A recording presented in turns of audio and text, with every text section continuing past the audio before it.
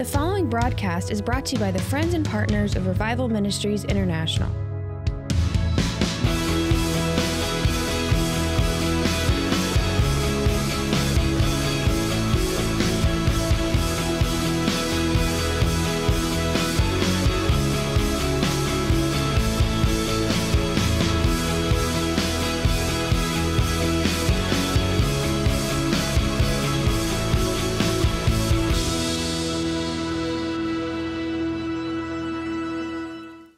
Bibles and go with me now to the book of Judges. I felt the Lord quicken this to me.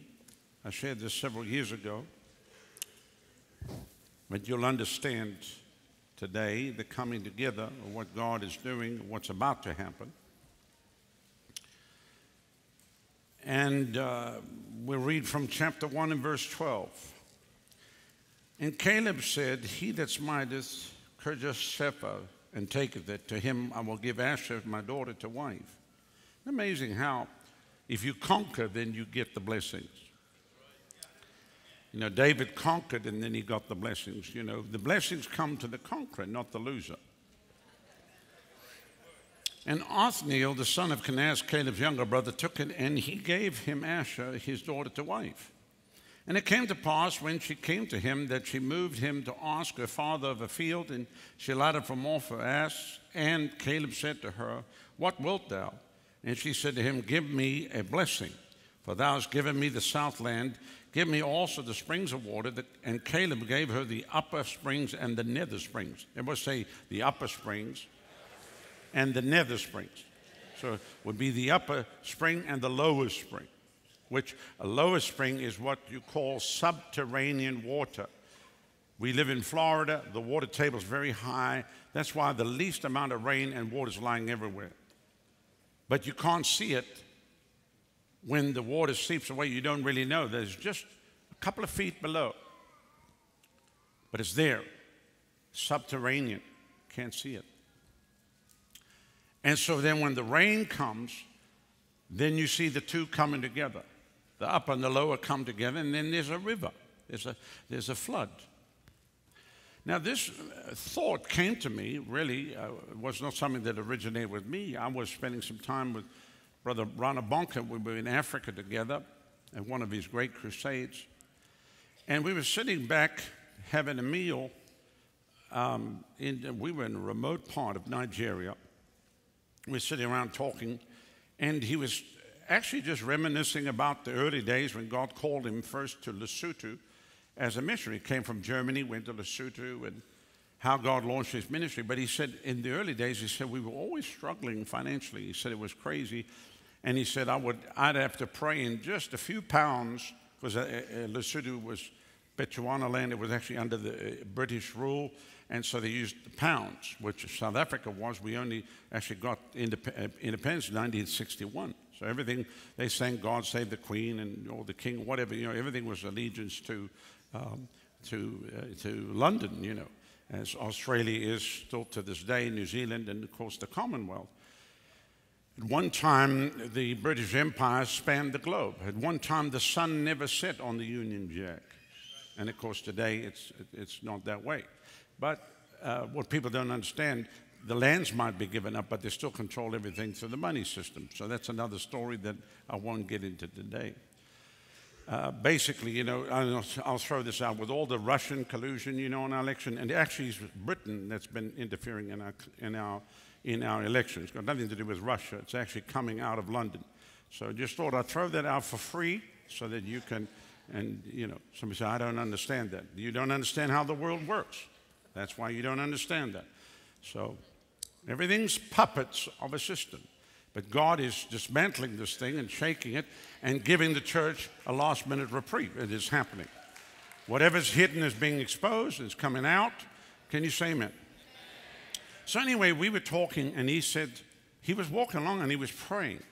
You know, sometimes when you in real struggle, you walk along and you just go out and you really pray. It's amazing how you'll pray fervently and when it comes down to provision, Lord, I need your help. If you don't come through, you know, how am I going to pay these things? And he, he was talking to the Lord. He said, Are we always going to struggle like this? And he was walking along, and there was, I, I believe it was a five pound note lying in the field, a five pound note, which actually, this is back, you know, in the 60s, paid his whole rent of his office. You know, five pounds doesn't sound like a lot now, but back then, you know, was a lot. And he picked it up, and the Lord said to him, No, no, son, it won't be.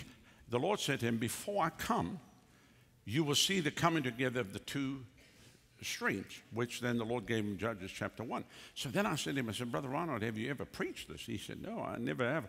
I said, Then I'm taking it. I'm going to preach this. So this is actually my message now. His thought, but my message. He's never has preached it, but I've had the privilege of preaching this around the world. And so, anyway, when you understand what God is about to do, so now, the lower springs, what would that represent? That would represent the unseen things that are not visible to the naked eye, which is the anointing. The anointing. There is a river that flows from the throne of God. There's a river, the streams whereof shall make glad the city of God. You know, in these meetings, we talk about people drinking, and then people wonder, what are they drinking? I don't see anything to drink. When our church first started in Istanbul 18 years ago, Pastor Corey and Rose went over to Turkey, and Adonica and I were there the first week of January 2000. We flew on, on Y2K. The plane was empty. Adonica and myself Kirsten, Kelly, and Kenneth, we flew over to Istanbul. I went down with my credit card to a music store downtown Istanbul and bought all the sound system, the microphones, and paid for it. And, um, but when they started the church, you could not have a church in Turkey, a Christian church. So Pastor Corey said, Pastor, they won't let us have a church. I said, Well, what will they let us have? He said, A club. We can have a club. I said, Good. Let's call it the River Drinking Club. So they formed the River Drinking Club. Then the secret police would come and they would give a report on the service. They would say, um, It's a club, no doubt. The people are drinking. We don't know what they're drinking, but everyone is drinking. no, really, and there was nothing wrong with it because they couldn't, they couldn't refute that the people were drinking. They just couldn't find what they were drinking. And, and they've been there all those years, you know, the, the River Drinking Club. Now, you think about that. So, what, what couldn't they see? They couldn't see what was underneath. Many people do not understand the anointing, they don't understand the presence of God. They don't understand that the Holy Spirit is omnipresent, omniscient, omnipotent, that the Holy Spirit is everywhere. Are you with me? He's not manifest everywhere until you get there. But that's why he wants to come and live on the inside of you so that you can go. And the Bible says, out of your belly, out of your innermost being, will flow forth rivers of living water. So you are containers, you are vessels that carry this, this, this mortal body. We have this treasure, treasure in earthen vessels. Which you think about it, that, that's just the grace of God, that God would even come and take us as lowly as what we are, as weak as what we are. And this, come here, I'm going to pour my blessing into you, and then I'm going to use you to go and be a blessing to many. Think about that.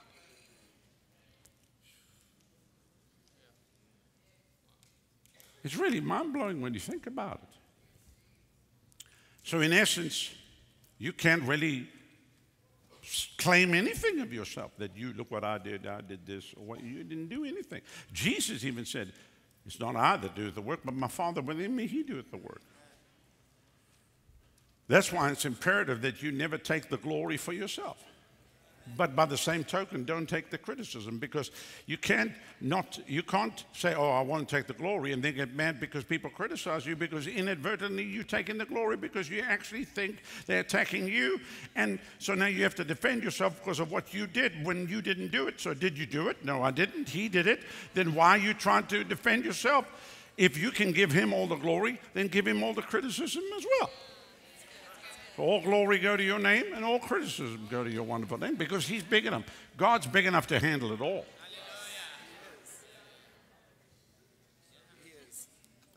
But you don't see, I mean, it's like walking into a place where they serve tea, you know, great. Who likes tea? You know, all the fine teas and which I can drink a cup, but you know, I grew up drinking tea. But you know, everybody's like tea, you know. Then you got to hold the thing a certain way, you know. A spot of tea, you know. You know how the, they do the whole thing. like the cup is so small, you know. Um, but if you, let's say the teapot could talk, and you took a microphone and you said to the teapot, hey, tell us about yourself. Well, look at the wonderful tea that I make. Aren't I just something? This, this tea that comes from me. And you want to go, excuse me. You, there's no tea that comes from you. You're just a pot.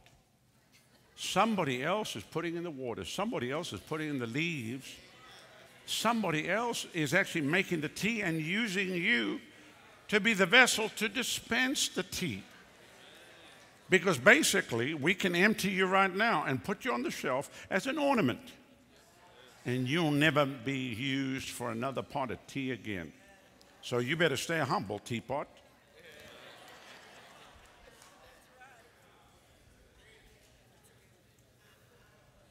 So when, you, when we were kids, you learn that thing, I'm a little teapot, pot short and spout, yes, but, you know. So basically, we just teapot. We, we just vessels. We are vessels through which his blessing flows. But many people can't see the blessing. They actually attach it to the person and not understand that God comes and takes his treasure and puts it into earthen vessels. That's why we need to recognize the anointing when we see it on somebody. And then we have to discern between, okay, so I know them. I know they got, you know, they're just people. They're just people. And I know they got idiosyncrasies and they got you know, quirks and all that kind of stuff. But in all of that, I see the hand of God. Are you with me? So we don't worship them, we worship Him, but we see the anointing upon them. And the fact that God will anoint everybody if they will let Him. If they will let Him. And the anointing's not just for a service so you get touched and hallelujah right around the building. The anointing's for Monday morning, Tuesday morning, Wednesday morning, Thursday morning. The anointing's for midnight. The anointing's for 2 o'clock in the morning. The anointing's for when all hell's coming against you, when everything is uh, coming against you, looks bleak. You have something that's subterranean that you can draw on which the scripture says, with joy shall you draw forth water out of the wells of salvation. How do you get the water out? With joy. With joy. Joy is the bucket that gets the water, the subterranean water out. With joy shall you draw forth water out of the wells of salvation. How many times does the scripture say, rejoice in the Lord? Always. And again, I say rejoice. And then he says, delight yourself in the Lord. In the book of Deuteronomy 28, he said, Because you did not serve the Lord with joyfulness and gladness of heart for all the abundance with which he has blessed you, therefore you will serve your enemies. So God is actually watching over you. The Bible says he dances over you with joy and singing. God is actually dancing over you God's the one that says, I know the plans I have for you, say the Lord. Plans to prosper you, plans not to harm you, plans to give you a hope in the future. These are the plans I have for you. God's plans are not to destroy you. He's not sitting in heaven thinking what evil he can do to you by Tuesday. But there's someone else doing that, the wicked one. But when you find out who you are in Christ, when you realize that you've been bought with a price, when you realize you don't belong to yourself, when you realize that the blood of Jesus has washed you clean, when you realize He's given you the name that's above every name, that name of Jesus that carries authority in three worlds in heaven before God, in earth before man, and in hell before the devil and all these demons, when you realize that the scripture declares, Great is He that's in you than He that's in the world, when you realize that He's raised you up that He wants to use your hands, your feet, your mouthpiece. That you can come and He will take you and use you and send you to the nations of the earth. It's not your power, it's His power. It's not your ability, it's His ability. It's not your strength, it's His strength.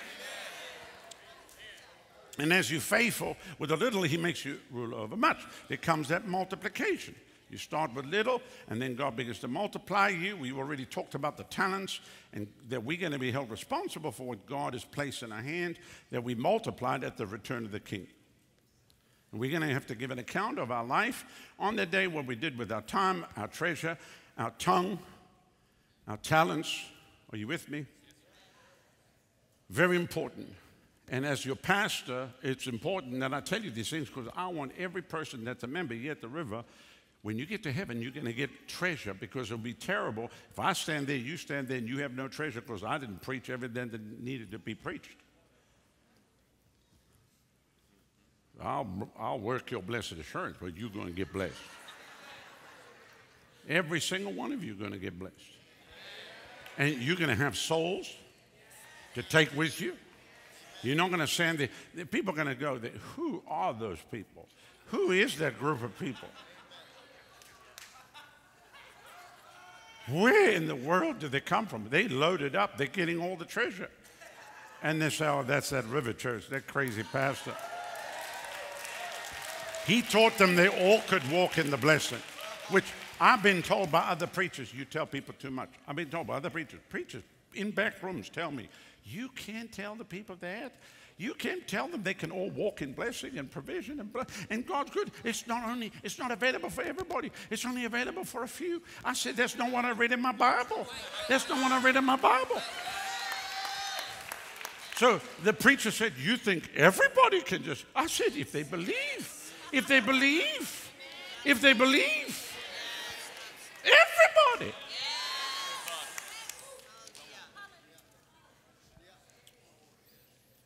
It's almost like they want to make it exclusively for a couple of exclusive people. It's not that way. The gospel's for every single person. All you have to do is believe. You can't earn it. You can't buy it. You can't be educated to come to the place of uh, greater learning and understanding to now be eligible to receive it. You just have to humble yourself and then receive what God has for you. Well, we don't deserve it. You don't deserve anything. Neither do I. But I'm so happy we don't get what we deserve. Aren't you happy you don't get what you deserve? All these self righteous, sanctimonious, religious, nose in the air, bigots walk around holier than thou, better than everybody. Meanwhile, they're covered in filthy rags. Filthy rags walk around with their religious underwear with skid marks in it. No, I just tell it just like it is.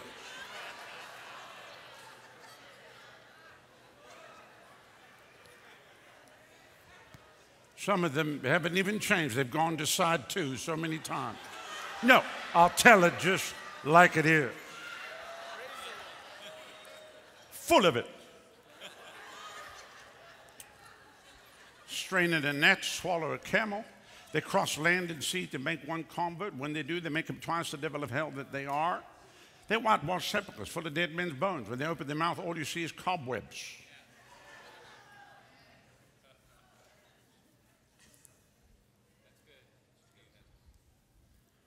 I had somebody private message me on Instagram because they saw that we were associated with another ministry that had been through the ringer, you know and they were upset. How dare I even associate with those people? I said, Well, actually, in fact, you, have you actually sat down with them? No.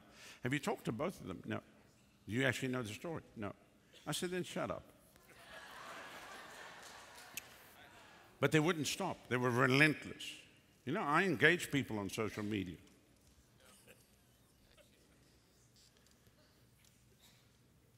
So I said, I tell you what, Easter's coming up. I tell you what I'm going to do. I'm going to erect a cross in the parking lot. I'll erect two crosses for the couple, and then can you come over and help me? I'll let you nail the nails into them, and you can you can crucify them. Then she, then she started attacking me. So I said, I'll put a third one up. You can come knocking into me as well. And then they apologized. By the time I had myself there, then they, you know, please, people.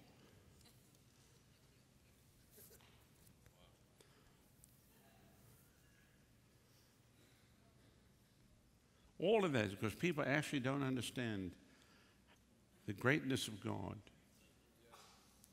And that God would take the foolish things of the world and use the foolish things to confound the wise. And they can't see this subterranean river. They can't see the anointing. They don't understand. They judge everything by what they can see, which is the upper spring, which is all the material things, natural things. That's the upper spring. So there's many people focused on the upper, the, the, the you know, people, houses, cars, lands, building, all that kind of stuff, but they don't see the other side. But what happens when upper and lower come together? You get a flood. You get a flood. And the Lord said to me that there's a flood coming to the body of Christ. I believe it was back 2006, one of the eight day camp meetings. I preached a whole series, There's a Flood Coming. I was standing in front of Niagara Falls and I saw the water coming over. Who's ever stood at Niagara Falls? It's amazing. You stand there watching the wall come, the water come over. And the Lord said, That's what I want to give my church. But they stand with the glass, trying to receive my blessing. If you stood at the bottom of Niagara Falls with the glass and tried to receive the blessing, you, the glass, and everything would be washed away.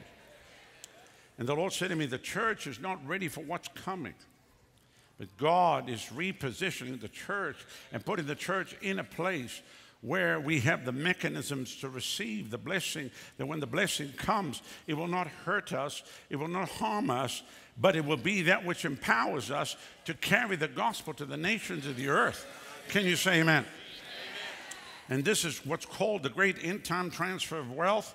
And as I said earlier, that the wealth of the wicked is laid up for the just, Proverbs 13, 22, a good man leaveth an inheritance to his children, children, and the wealth of the sinner is laid up for the just. Wealth and riches are in the house of the righteous. God's multiplying you. Psalm 112, verse 1 to 3. Praise ye the Lord. Blessed is the man that feareth the Lord, that delighteth greatly in his commandments. His seed shall be mighty upon the earth.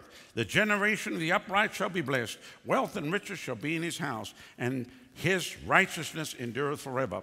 2 Corinthians 8, verses 9 and 10 For you know the grace of our Lord Jesus Christ, that though he was so very rich, yet for your sakes he became poor, that you, through his poverty, might become rich. It's time for the church to possess the upper springs. Are you with me? Because the church has said, you just stay down there by the railroad track in the cabin church and just sing. And you one of those happy clapper roll, holy rollers. But don't come into the town. Don't say anything in the courts. Don't say anything in the news. Leave the news alone. Don't say anything in the governments. Say nothing in the schools. Are you with me? And don't come into the money realm because you don't belong here. You should be walking like a homeless tramp. Uh, Jesus was barefoot. They think he was barefoot with a lamb but his arm speaking Elizabethan English.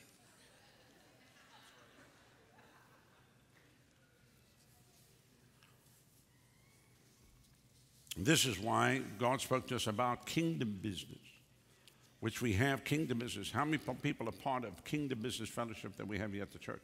Every two weeks on Tuesday night, everybody meets over in Studio B. And they'll be up from 80 to 300, depending on what time of the month and what's happening, and people with different businesses. And God began to speak to us to believe Him that we'd see 100 multimillionaires raise up. Now, I don't know if they made it out today, but all right.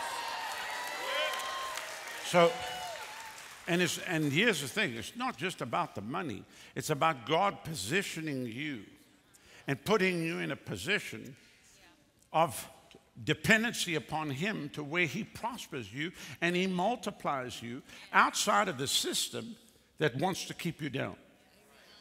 Are you with me? And you know that if the Lord does that, that it'll be the Lord and not you.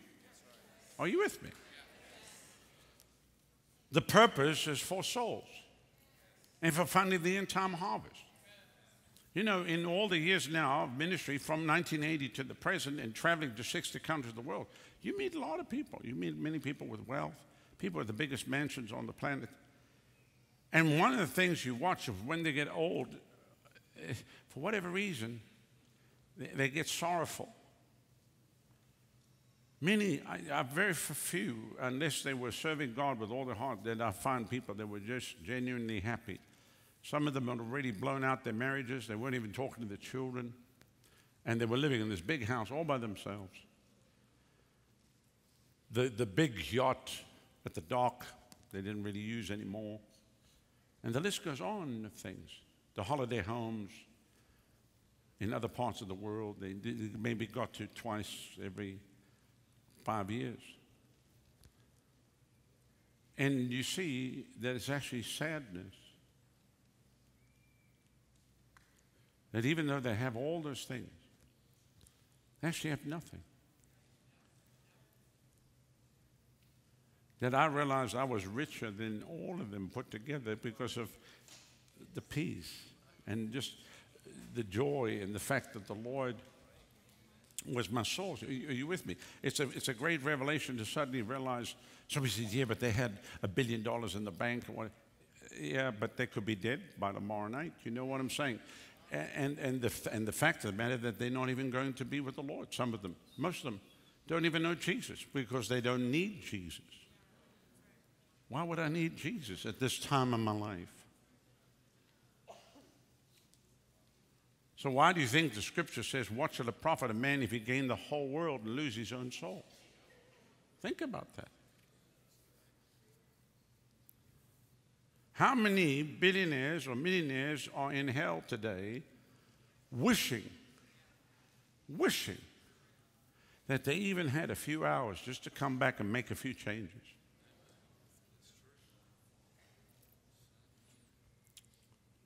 And the fact that many sold their soul to the devil because he took them to high mountain and promised them money, riches, fame, and fortune if they would serve him, and they did. And then he allowed them to access certain realms, and then he came for their soul and took them to a lost eternity.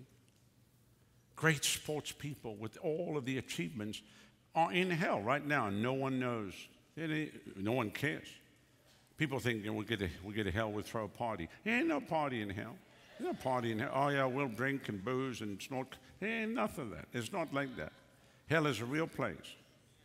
The, the flame is never quenched and the worm does not die. It's a place of torment.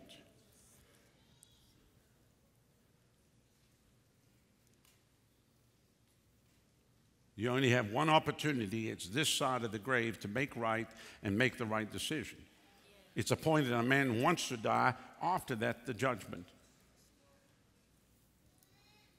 So my heart breaks for people because I realize that if we don't get the gospel to them,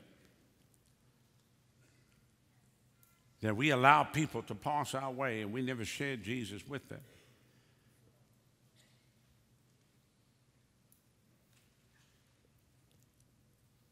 That there are people actually burning in hell today saying, I can't believe they didn't tell me.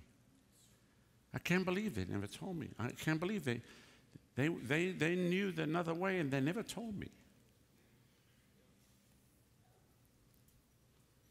Because the only thing you can take with you when you leave this earth is people. You can't take your house, your property, your investments. Can't. It all stays behind.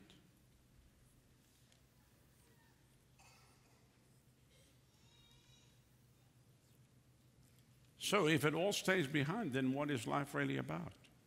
Is it about just accumulating wealth and retiring successful? Or is it about attaching what you're doing to what's eternal, which is impacting nations in the kingdom of God?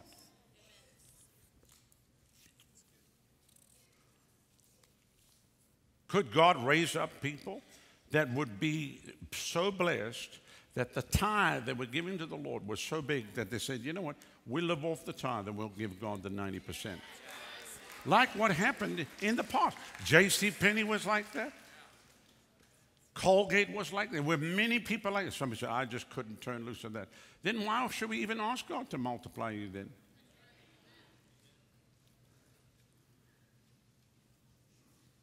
If you made 10,000, could you give God a thousand? Huh? Answer me. If you made a hundred thousand, could you give God ten? If you made a million, could you give God a hundred thousand? If you made ten million, could you give God a million? If you made a hundred million, could you give God ten million? So could you live on ten million? Could you give God the ninety million then? See, well, no, I mean, it's easy when you talk the numbers. It's another thing when you get to that place. Because at that juncture, you now have hired financial advisors who are advising you not to do that. Oh, you need this for your retirement. Meanwhile, they're trying to attach so they can get their fingers on your money and suck your accounts dry. Because that's how those financial firms make their money. Some little snot nosed 33 year old graduate from university suddenly is now the world's leading authority on buying Warren Buffett shares. I told the story this week. A man that had uh, living in this area. He didn't come to the church, but a businessman, I knew him, and he came to me and said, Hey, do you have any advice for me? He said, I have $6 million cash. I don't know where to put it. He said, The banks are only up to certain, this is back 05, 06. He said, The banks are only insured like up to 250 you know, which even then, who insures the FDIC? But that's another story, we won't go, go into any further. But he, he said, I'm going to have to split all my accounts. I have so many accounts, I don't know what to do. I'm going crazy. Do you have a place I can invest the six minutes? I said, Well, you could come underwrite the church mortgage, tell me what interest you want, and I'll make the monthly payment, and your investment will be safe with us. And he looked at me and he couldn't. He could not, partly because he was afraid that he might do it, and then the Lord would deal with his heart to just pay off the mortgage, which I didn't want him to. I didn't, I was not asking him to do. He asked me, where can I invest that I know my investment is sure and I know my investment is safe, uh, and I can earn interest. I said, right here. We, that will really help us because then it means I can get rid of the banking cabal that is trying to steal my property. And then your money will be safe and our property will be safe. And they were trying to steal. They were trying to steal this property. But we smoked them. We smoked it. They tried to steal this place. So he didn't. And then later on, I said, Hey, did you find out what to do with it? He said, Yeah, I've got a financial advisor. He said, Buy Warren Buffett shares. He said, I paid about 157000 apiece. Okay, good. I'm happy that your investment's safe. But the crash of 08, he was crying like a stuck pig because Warren Buffett lost 20 billion and, and the shares went down to 78,000. So you work it out. You can work it out. So suddenly, your safe investment is not safe anymore because you trusted in Warren Buffett and you never trusted in the kingdom of God. And guess what? We're still here all these years later. Never missed a payment. Never missed one payment. But the financial advisor told him Warren Buffett was safer than us because they don't see the subterranean. They just see us, they don't see God. You don't know who we work for. Our corporate offices are the most amazing corporate offices. Oh, they're not here. This is just a little office I use. Yeah. They're corporate offices of where I work for. Ooh, off the chain.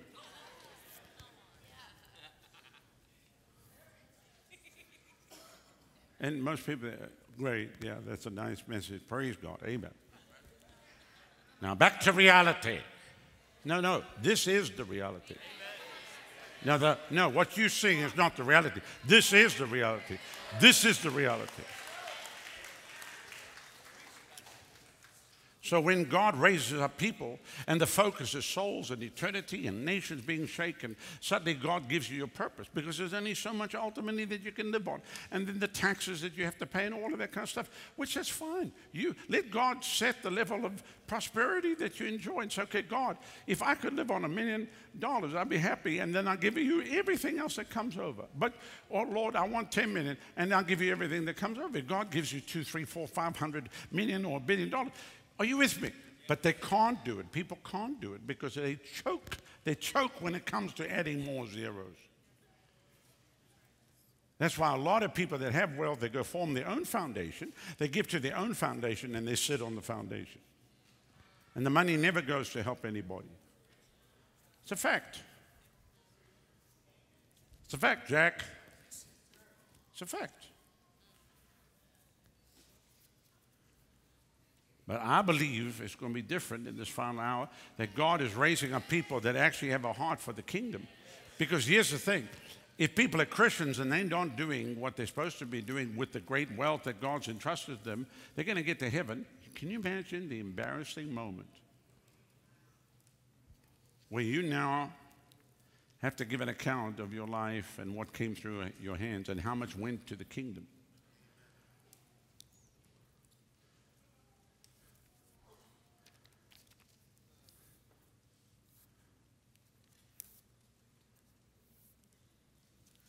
I met one businessman who's making huge amounts of money. I tell the story, it's pretty amusing. It wasn't at the time, but I was, we were coming out of Teterboro, New Jersey, finished a crusade trying to get home. Something went wrong with the plane, so it broke. So I'm sitting in the FBO, which is the flight base operation where private planes come out of and I said, Lord, I have to get home. I got to get home. I got one day, uh, see Adonica and the kids. This is back, Kelly had already gone on oxygen. And then I got to have service Sunday and fly immediately Sunday afternoon. I've got to get home. And now the plane's broken. What are we going to do? And a billionaire walked in and he saw me. Rodney, what are you doing here? I said, Well, the plane broke. He said, Well, where are you going? I said, Tampa. He said, Well, jump on my plane. I'll drop. I'm going to Sarasota. So that's south of Tampa. I'll drop you there, tell your wife to pick you up. I thought, Hey, great. So we get on this huge intercontinental jet. And I thought, man, this is phenomenal. The Lord's taking me home. I'm being translated, translated here. It's just, and it was just him and me and the stewardess and the pilots, and, and they were serving us lobster and We 39,000 feet over the Carolinas, just, I'm like, whoo, glory to God. Yeah, I'm going home. It's supernatural. I mean, I didn't know I bumped into him there. So we're talking. So he starts to talk to me. I don't ask people questions. It's none of my business. How do you make your money? What do you do? I knew he was in real estate. I knew that the Lord had blessed him. I knew that he'd come from nothing. I knew that he didn't even have a dime. But God taught him how to hear from him, buy that property, sell this property, do this, do that, do this, do that. So everything he did, I knew was from hearing God's voice, which we can teach you to do here if you just stick around long enough and listen. We can show you how to do that so you can obey him. But anyway, make a long story short. So he's busy talking to me, and then he starts to talk and tell me stuff that I didn't even ask for. Like it was almost like there was a curtain, and I was a priest, and he was confessing to me. Yeah. I thought maybe there's a there's some kind of a curtain here, and he thinks I'm a priest. But anyway, he starts to tell me. He said, "You know, I made 500 million last year." I mean, what do you do when, when somebody tells? Well, I mean, what do you do? I, I go, "Wow." I mean, what do you do? Who can even relate to? I made $500 million last year. And then he says to me, I never asked, I never said a word. He said, I gave 5 million to the gospel. Before I knew what I was doing, come out of here. And I looked at him and said, What? What? You gave 5 million? You 45 million short, and that's just on the tithe. And then I realized, oh my God, what have I done? He looked at me. I promise you, if there was an ejector seat, he would have pressed the button. I'd have been sucked out of the Challenger, 39,000 feet over the Carolinas. I'd have got to heaven, and the Lord would have looked at me and said, You and your big mouth. Do you know that? He wouldn't even talk to me again. He put his seat back, he covered his eyes, and went to sleep, and I sat like this. But I didn't ask you, you told me. So don't, you know, don't think you're going to tell me and then I'm just going to sit there and be quiet. I thought he was going to say I made 500 million and I gave 200 million to the gospel. But he couldn't. It's too much money. One man said to me, I can't give it to the church. I can't give it to the church. It's too much money. I said, Come here. Give me your hand. He said, For what? I said, I'm going to pray that God reduce your income right now to the level of giving that you feel comfortable with. No, no, don't do that. I said, then don't sit here and tell me it's too much. Yeah. Then I prayed. I actually also, can you tell me why he did that? And the Lord said to me, because he lied on his taxes. He reduced his income on his taxes. So he didn't pay the taxes. That's why he didn't tithe correctly of what should have been tithe. So you, the Bible says, render unto Caesar the things that Caesar, unto God the things that are God. So because he didn't want to pay his taxes, he reported his income. So his income, probably the five million looked that that was what he earned, but he actually earned much more. But he wrote off in taxes, so it reduced the whole thing. Which, to me, that's just like terrible. It's, uh, getting a tax write off is one thing, but don't cheat God on his side of the deal just because you've got a write off on the other side. Oh, well, the church just wants all my money. No, this is not. You'll see a hundred years from now that this has got nothing to do with the church wanting your money. If you think I want your money, take your money, stick it in your ear. Listen, I know how to get it. I know how to pray and believe God. No, you don't understand. I want your blessing. I don't want anybody to stand before the Lord and be ashamed of that day because there's, hasn't, there's no preacher that even has the balls to stand up and tell you these things from the pulpit.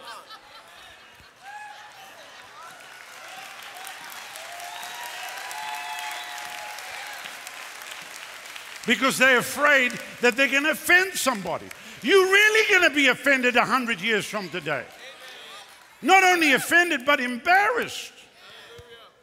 But not because I didn't tell you the truth. And you come around here, you're going to hear these things. And I know there's some people probably more upset because I mentioned the word balls here today than about what's happening.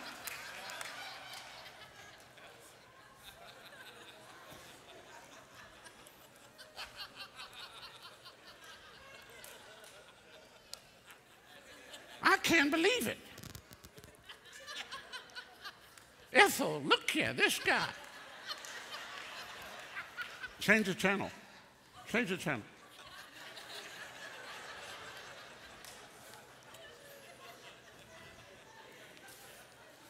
God is raising up an army of men and women full of the fire of the Holy Ghost, marching through the land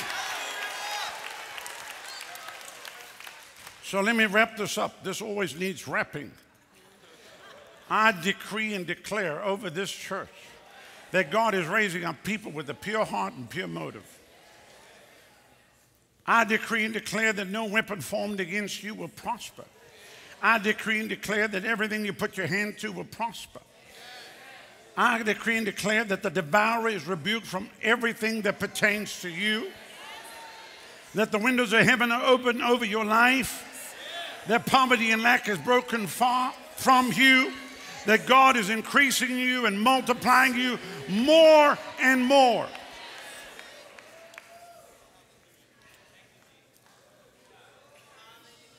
And everything we do, we have with eternity in mind. Because every decision we make has an eternal ramification.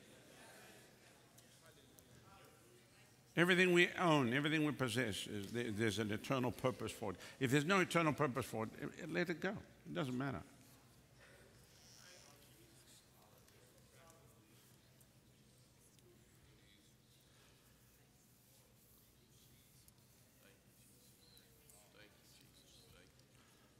Preachers are afraid to talk like this because people think, well, they want their money. We don't want your money. We want your blessing. We, we want your blessing, and we want you not to be ashamed on the day when you stand before the Lord and have to give an account of what God's blessed you with. I would be embarrassed if you were embarrassed because I didn't have the guts to stand up and tell you the truth.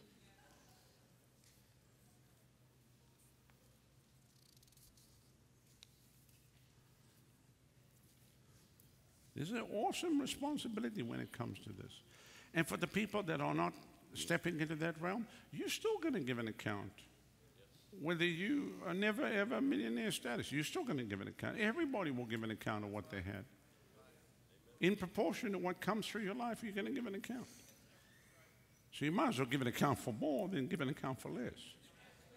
Because otherwise, you end up being the slothful servant who buries the one talent and never multiplies it for the kingdom. Everything you have is put in your hand to multiply for kingdom purposes. Is God concerned that you, He don't want you to have anything? Absolutely not. You, he'll bless you beyond measure. Everything, your heart's desire, your dream, your, every, every little thing, He will do. He will do exceedingly abundantly above all that you ask or think. Let me close with this. Do you understand that if we never grabbed a hold of this truth, that absolutely not one of us would be sitting here today? That's right. And I'm not putting this around my wife and myself, but we could still be back in Africa struggling.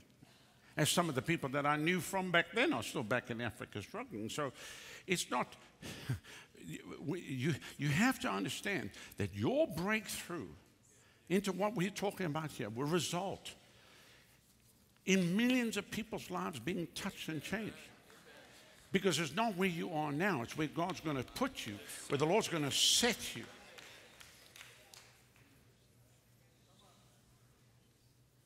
You see, you think I'm looking at you where you are now. I ain't. I know where you're going. If, if you hear the word of the Lord, there's many people here over 21 years of the church that sat here just like you. Today they're in foreign fields. Today they're doing major things for God. So I don't look at people the way that maybe you look at them as just somebody sitting in the pew. Yeah, but they're not finished yet, and God's putting all the stuff that's needed in them, and then He's going to launch them like one of those rockets and they're going to send them like a missile, and they're going to go to that country, and they're going to go to that city, that town, that village, and they're going to do great things for God. And you don't write them off just because you see that they're sitting there and they're going through some struggles and some battles, because God's not finished with them. The Lord's not finished with them. You don't write anybody off. And God's going to, the ones you think God's not going to use, the ones that you've written off, the Lord said, oh no, they special vessels. They're chosen for me. And I'm going to I'm going to use them. I'm going to take them and I'm going to use them just to confound the wise, just to confound the mighty. Is this helping everybody here? So the two are going to come together in this final wave, which I believe that we write on this right now. Amen. We're standing on the precipice of this right now. There's too much happening. There's too many words of the Lord. There's too many, there's too many things that have happened for this not to come to pass. This is not about launching something just to make some money. This is about kingdom purpose. This is about God's kingdom purpose. This is about seeing nations shaken by the hand of God.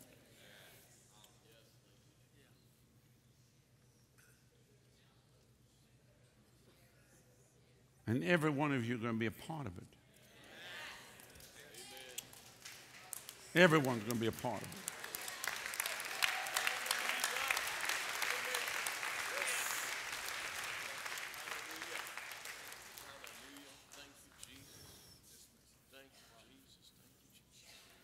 See, there are many other churches in Tampa. You can go there, but they're not going to attach eternal purpose to what I'm talking about. Your life, Monday to Saturday, is just your own.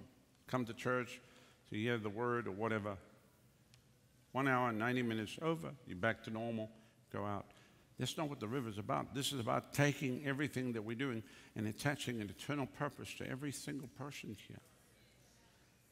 When the Lord told us to start the church, He said, Have a place where you prepare the people for eternity. He didn't say, Have a place where you prepare the people to live an American dream. Big difference. So, in closing, Deuteronomy 28, verse 1. It shall come to pass if you hearken diligently to the voice of the Lord your God to observe, to do all his commandments which are commanded this day, the Lord thy God will set thee high above all the nations of the earth, and all these blessings shall come on you and overtake you. If thou hearken to the voice of the Lord your God, blessed shalt thou be in the city Blessed shalt thou be in the field.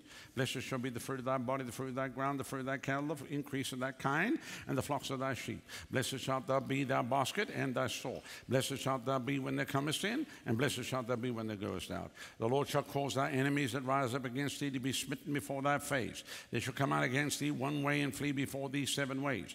The Lord shall command the blessing upon thee in the storehouses, in all that thou settest thy hand unto. He shall bless thee in the land which the Lord thy God giveth thee. The Lord shall establish thee a holy holy people to himself, as he sworn unto thee, if thou keep the commandments of the Lord thy God and walk in his ways. All the people of the earth shall see that thou art called by the name of the Lord, and they shall be afraid of thee. And the Lord shall make thee plenteous in goods, in the fruit of thy body, in the fruit of thy cattle, in the fruit of thy ground, in the land which the Lord sware unto thy fathers to give thee. The Lord shall open to thee his good treasure, the heaven to give rain to thy land in its season, to bless all the work of thy hands. Thou shalt lend unto many nations, and shall not borrow. The Lord shall make thee the head and not the tail. Thou shalt be above only and not be beneath. If that thou hearken unto the commandments of the Lord thy God, which I command thee this day to observe them and to do them, and thou shalt not go aside from any of the words which I command thee this day to the right hand or to the left to go after other gods and serve them.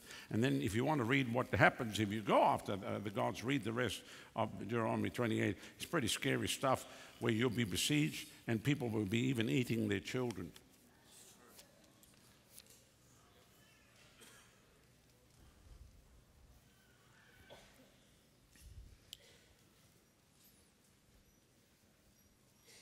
It's time. We're closer now to this becoming a reality than ever before. We can't do what we're supposed to do here on the property without the two streams. It's impossible. And I'm not raising money for it, and I'm not borrowing one dollar. Not doing it. Somebody said, then you're going to look like a fool. That's fine. That's fine. I'm not really worried. I've been called everything under the sun. It doesn't really matter. We're going to dig a ditch. God's going to fill it. And everything's going to be done supernaturally. And when it's all said and done, it's all God. It's all God. It's all the Lord. It's not us, it's Him. Because already everything's a miracle. We came here with $300 30 years ago. Four suitcases, three children, $300. That's it. And now 60 countries of the world. It's all a miracle. On television around the world, don't pay a dollar. It's a miracle. It's a miracle. Other people are paying millions of dollars a month. We didn't pay anything. It's a miracle. It's a miracle. It's all a miracle. Everything's a miracle.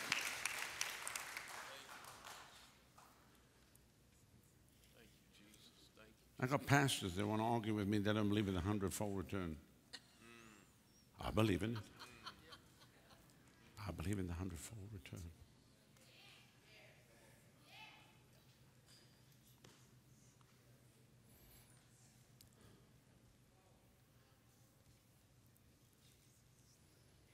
So we're bringing people from survival to revival. And then into the fullness of the destiny of which God has purpose for every single one of your life. And you're going to do what we can't. You'll go where we can't. Your vo- voice will be heard where ours cannot be. Everyone's needed.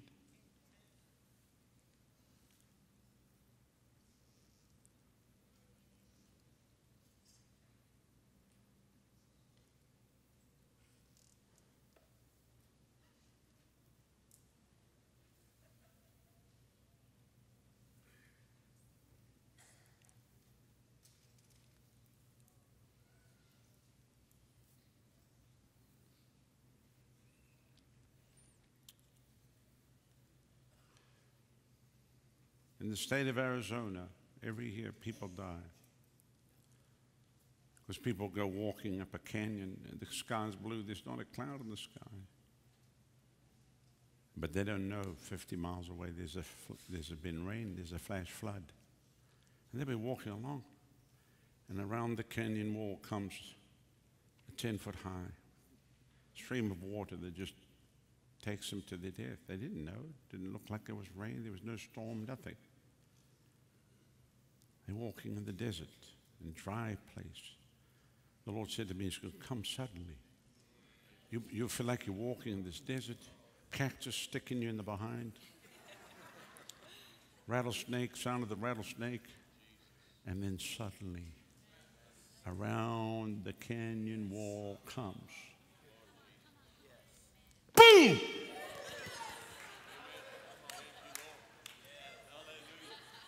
You better get ready.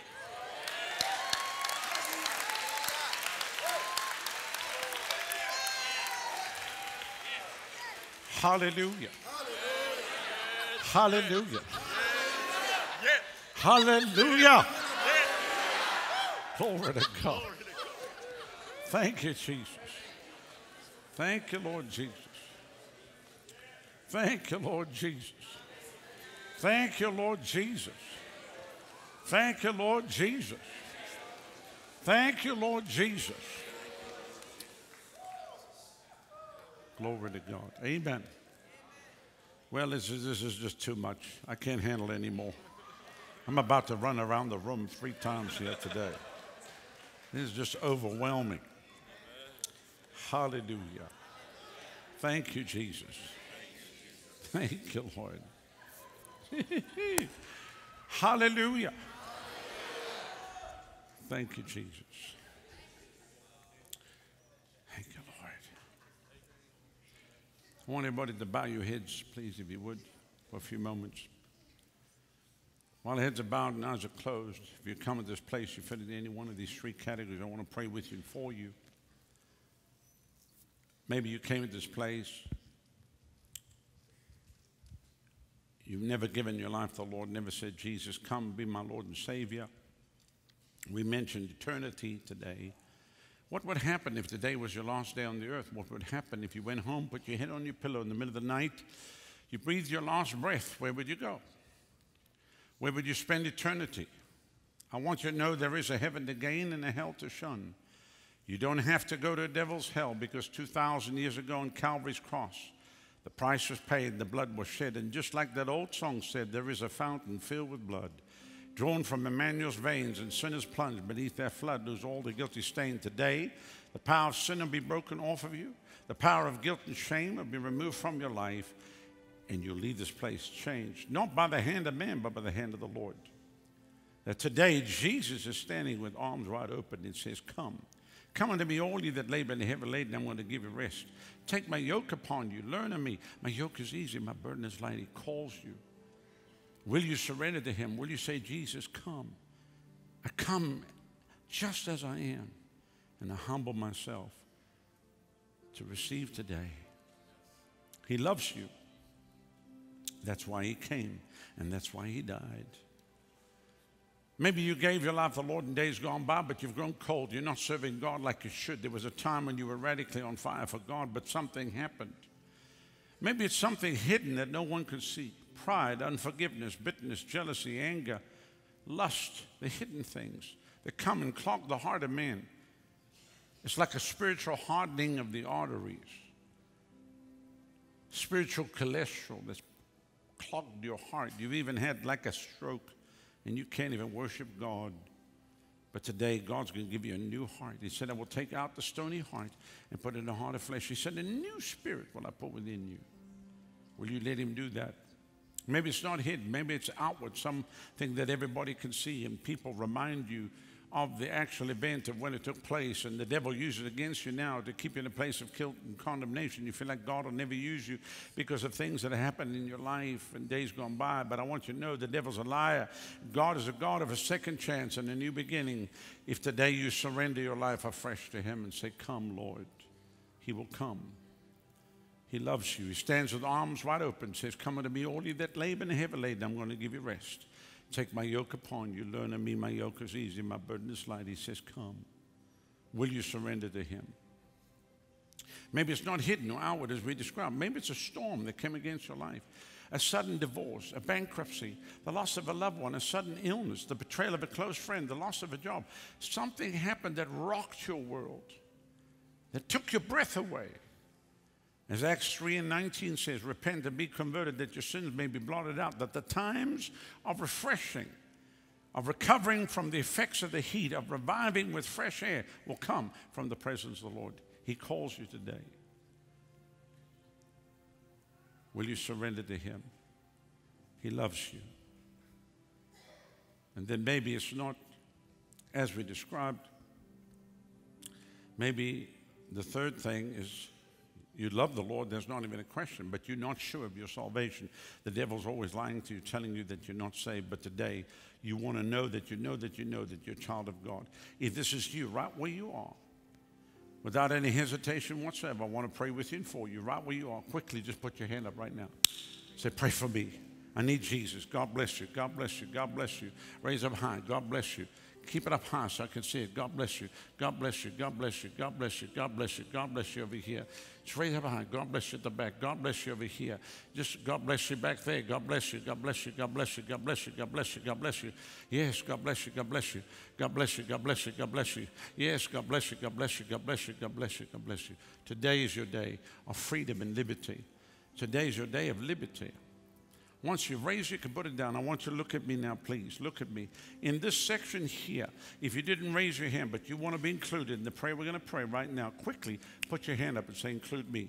Include me. Don't leave me out. Thank you. God bless you. God bless you. Right over that side. This section underneath the overhang. God bless you. Yes, yes. Anybody else right on that side? Right at the back there. Right at the back. Anybody else? Right at the back there. Anybody else? This section? You didn't raise your hand? I see your hand right at the back by the sound booth. Anybody else? Slip it up high. Another hand there. Anybody else?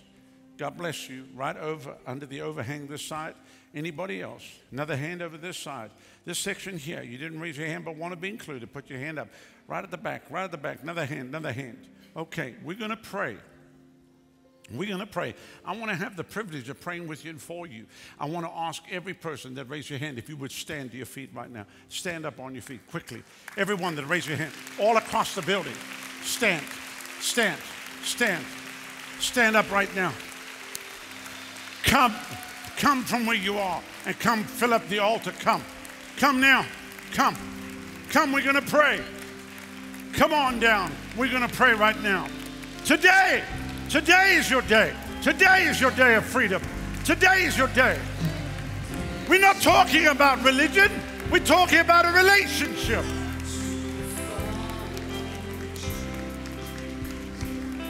Come now. Come now. He calls you.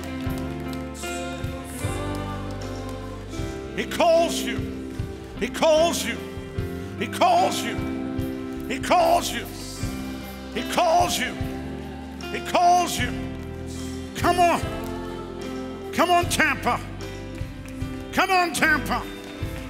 Come on, Tampa.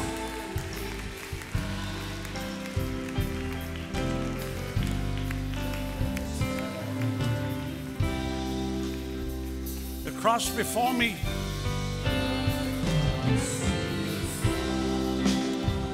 the world behind me.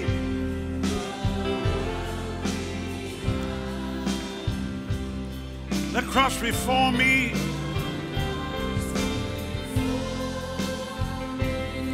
The world behind me. The cross before me. The world behind me. Turning back.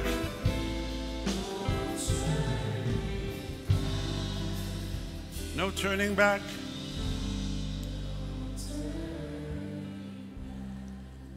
Those watching by television, as I pray with them, you pray with us. If you mean business with God, God means business with you today. I want you to close your eyes and raise your right hand to heaven. That's where your help comes from. And just believe it in your heart and say with your mouth, say this out loud. Say, Father, I come to you in the precious name of your Son, Jesus. Lord, you said in your word, if I confess with my mouth, Jesus is my Lord and my Savior, and I believe in my heart that God has raised you from the dead I will be saved. And so, Father, right now, I confess Jesus is my Lord and my Savior. Come into my heart right now. Take out the stony heart, put in a heart of flesh. Wash me, cleanse me, change me, fill me, use me. Let me never be the same again. I turn my back on the world. I turn my back on sin. And I follow you, Lord Jesus. Thank you for dying for me. Thank you for shedding your blood for me. Thank you that on the third day you rose for me. And thank you that you're coming back again for me. From this day on, I'll never be the same again. I confess Jesus Christ has come in the flesh. He is my Lord and my Savior. And right now, by faith, in the finished work of the cross and by the shed blood of Jesus, I am saved. Thank you, Lord, for saving me now. Now lift both hands and just thank Him right now. Father, I pray that you would come and you would seal them now by your blood and by your spirit, that on that day not one would be missing. Raise them up to be mighty men and women of God and use them to impact this generation, we pray, for the remainder of their days. In Jesus' name. And everyone said, Amen. I want you to look at me right now. We have a gift for you. But before we, I, I, take you through, let me just say this. If there's anybody here, you feel a call of God in your life, we have two schools River Bible Institute, River School of Worship, and we're giving scholarships away. If you would love to take that challenge and you'd like that, wave your hand at me. All right, so they'll tell you all about that. It's important that people get trained. Somebody said, I'm too old. If you're under 120, you're just right, so you'll fit the thing. Because remember, it's going to take people of different ages to reach different groups of people. We have people in their 80s that God's using them in a powerful way. So, you know, as long as you're alive and breathing, you can be used for the Lord. Are you with me? Amen. Thank you for watching today on YouTube. Please press the subscribe button and also the notification button and like and get the word out so others can watch.